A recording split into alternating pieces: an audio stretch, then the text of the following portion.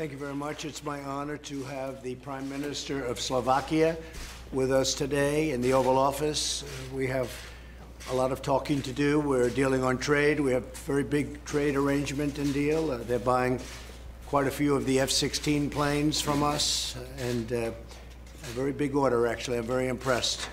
And it's, I have to say, it's a great plane. It's a great, great plane. But we do a lot of trade, and uh, NATO partner, and our relationships have been very good. And this is the Prime Minister's first time in the Oval Office, and I think he's impressed with it. Yeah, I am. Thank you very much impressed. for being with us. Mr. President, I'm really very glad to meet Mr. President uh, today here in the White House, and I think the timing is really perfect because this year we are celebrating uh, 30 years of freedom of Yes, Slovakia, right. and the United States played a key role uh, in our struggle for democracy, and uh, it helped us to transform our countries. And I'm very happy that today I can say that the United States and Slovakia are strategic partners and allies. And as a prime minister, I can say today that Slovakia is really a success story, and uh, and I would like to congratulate you, Mr. President, because in Slovakia we are able now to create uh, thousands of new jobs, and we have the lowest unemployment rate in our history. And I would like to congratulate you to amazing numbers which were published today Yeah. and uh, about the jobs which, we are, which were created thanks to your policies. So I think it's a huge success and congratulations, Thank Mr. President, because I know how difficult it is to reach such numbers and to boost the economy and uh, Slovakia has in this moment uh, really a robust growth, even one of the highest in European Union and Eurozone. So, and we are lucky that uh, also your economy is doing very well because if United States is going well, also Slovakia That's is going well. And I have to say, uh, ladies and gentlemen, that Mr. President uh, is really uh, a leader which is uh, very clear that uh, we have to do even much more uh, when it comes to defense. And as Mr. President mentioned, Slovakia is delivering, is spending more. We are modernizing our armed forces. We are buying also U.S. military equipment. And I can say that the 2% of GDP we will reach earlier, as, as was our plan, until 2022, we will be on that number. And once again, it's a great honor for me, great honor for our country to be here in the White House with you, Mr. President. That's really nice. I just want to add a little bit further that uh, it is very nice what you said, but we are aligned with you, and it has helped your economy, and that's been good. And that makes me very happy because those are incredible people. And the relationship has never been stronger than it is now. You've been with us all the way. And what you said is true. Slovakia is very close to being up to the benchmark number, the 2% number, and maybe even go beyond it because they understand the value, the tremendous value from the United States. Some countries aren't. But NATO, uh, as your Secretary General has said, uh, they've, over the last short period of time, picked up over $100 billion of additional money since I'm president because of the fact that I said you have to pay for your defense. I mean, you have to help us uh, because the United States pays for a really disproportionate share of NATO. So uh, over 100 million, over 100 billion dollars has been paid by the various members of NATO. Some are doing fantastically. You are doing really well. You're almost up to the number. thank you. And others aren't doing as well, but they will be, we predict. And I think uh, I also just want to mention that uh, the economy is unbelievable. Uh, we're at 3.6% unemployment. That's the lowest number since 1969. Uh, We have tremendous backing. The companies are doing really well. Uh, We have the lowest unemployment rates for different groups of people, whether it's African American, Asian, Hispanic. Uh, Hispanic just set another all-time record for low unemployment. Uh, The household income is the highest it's ever been. Our country is doing well. Uh, Never probably has done as well as it's doing right now economically. And so we're very proud of that fact. We're dealing on China right now. We're doing fine. Uh, We're taking in billions of dollars uh, from China in the form of tariffs, as you know. We're charging China tariffs. Uh, We've never taken in 10 cents from China. Now we're taking in billions and billions of dollars. That's had a very positive effect on things. But the deal itself is going along pretty well. Uh, I would even say very well. We'll see what happens over the next couple of weeks. Uh, But we're getting close to a very historic, monumental deal, and if it doesn't happen, we'll be fine too, maybe even better. So I just want to thank you. It's a great honor to be with you. I've heard tremendous things, and you're a very popular man in your country, and I've had my best poll numbers too, so I feel very good. But it's, uh, our economy is raging, and when we have an economy that maybe is the best economy we've ever had, uh, people tend to like you. So we're both doing well in that regard. Thank you very much for being here. Thank you. Steve, go ahead. Vladimir Putin earlier today. Yes, I did. What options are you looking at to get humanitarian assistance to Venezuela? Yeah, I, I had a very good talk with President Putin, probably uh, over an hour, and we talked about many things. Venezuela was one of the topics, and he is uh, not looking at all to get involved in Venezuela, other than he'd like to see something positive happen for Venezuela. And I feel the same way. We want to get some humanitarian aid. Right now, people are starving. They, they have no water, they have no food. This is, Mr. Prime Minister, one of the uh, richest countries in the world 20 years ago, and now it's, they don't have food and they don't have water for their people.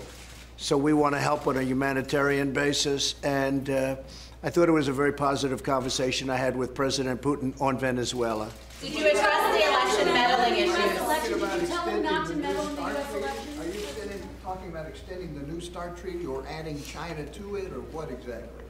Uh, We're talking about a uh, nuclear agreement where we make less and they make less, and maybe even where we get rid of some of the uh, tremendous uh, firepower that we have right now. Uh, We're spending billions of dollars on nuclear weapons, uh, numbers like we've never spent before. We need that, but, and they are also, and China is frankly also, we discussed the possibility of a three-way deal instead of a two-way deal. And China, I've already spoken to them, they very much would like to be a part of that deal. In fact, uh, during the trade talks, we started talking about that. They were excited about that, maybe even more excited than about trade.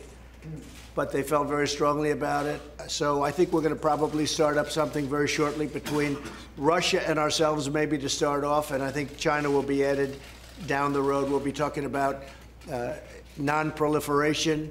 We'll be talking about a nuclear deal of some kind. And I think it'll be a very comprehensive one. Mr. President, did you address the election meddling issues that came up in the Mueller report with Mr. Putin today? We discussed it. He actually uh, sort of smiled when he said uh, something to the effect that it started off as a mountain and it ended up being a mouse. But he knew that because he knew there was no collusion whatsoever. Uh, so uh, pretty much that's what it was. Did It, you it tell him started not to off. meddle, Mr. President? Did you tell him not to meddle in the next election? Excuse me, I'm talking, I'm answering this question. You are very rude. Uh, So we had a good conversation about many different things, okay? Did you ask Tell him him not to not to meddle? meddle in the next election? Uh, We didn't discuss that, really, we didn't discuss it. We discussed five or six things. We also, uh, we went into great detail on various things, especially, I would say, the nuclear, especially maybe uh, Venezuela. We talked about North Korea at great length, and uh, pretty much that's it. Also discussed uh, trade. We intend to do a lot of trade with Russia. Uh, We do some right now, it's up a little bit, but uh, he'd like to do trade, and we'd like to do trade. And getting along with Russia and China, getting along with all of them is a very good thing. Not a bad thing, it's a good thing, it's a positive thing. Getting along with other countries, including your country, by the way. But getting along with countries is a good thing, and uh, we want to have good relationships with every country. Mr. President, should Mueller testify? Would you like to see him testify? I don't know, that's up to our Attorney General, who I think has done a fantastic job. And why shouldn't Congress Yeah, go ahead. Yes, please. Well, I'd like to. I know people from Slovakia, and they're incredible people. I would love to. It's a beautiful country, and it's doing very well. It's doing very well. Yeah. Yeah, please. introduce tariffs on the cars because the car industry is very Well, the tariffs have been uh, a necessary thing for me to do because, in the case of the European Union, they have not treated us right. We're losing $181 billion a year. We have been for many years. And the European Union has not treated us properly. But we'll see what happens with regard to tariffs on cars with the European Union. We haven't made a decision on that. Mr. President, are you going to nominate the defense secretary, Shanahan? Are you going to make it official? Uh, It'll be discussed next week. Mr. President, World Press Freedom Day. Can you say anything? We've heard a lot about your grievances to us. Say it again, say it again. World Press Freedom Day. We've heard a lot about your grievances about us, but can you say something that you can improve to improve communication and relationship with the press? Well, I think I have a very good relationship with some of the press, and unfortunately, some of the press doesn't cover me accurately. In fact, they go out of their way to cover me inaccurately. So I don't think that's a free press. I think that's a, a dishonest press. And I want to see a free press. I mean, today I was happy to see on the front page of the New York Times for the first time where they were talking about spying, and they were talking about spying on my campaign. That's a big difference between the way they've been covering, but that's a big story. That's a story bigger than Watergate, as far as I'm concerned. So I want to see freedom of the press, and I get treated fairly by some press, but I get treated very unfairly by other press, and frankly, I think that's very dishonest, and I don't consider that. When you have stories that are purposely written badly, in many cases, uh, very much on purpose, I mean, you look at it, uh, that's not free press. That's the opposite of free press. Mr. President, have you decided whether you'll Uh, that'll all be determined over the next week or so. But you said it was done. But you know, I will say this there's been no president in history that has given what I've given in terms of looking at just a total witch hunt. I call it the Russian hoax. It turned out to be no collusion, no obstruction. It was a total hoax. And yet I was transparent. We gave 1.4 million documents. We gave hundreds of people. I let him interview the lawyer the White House lawyer for 30 hours. Think of that 30 hours. I let him interview other people. I didn't have to let him interview anybody. I didn't have to give any documents. I was totally transparent because I knew I did nothing wrong. It turned out I did nothing wrong. No collusion with Russia. Think of it $35 million they spent, they wasted over a period of two years. No collusion, no obstruction. Thank you all very much. I appreciate it. Thank you. Thank you, Steve.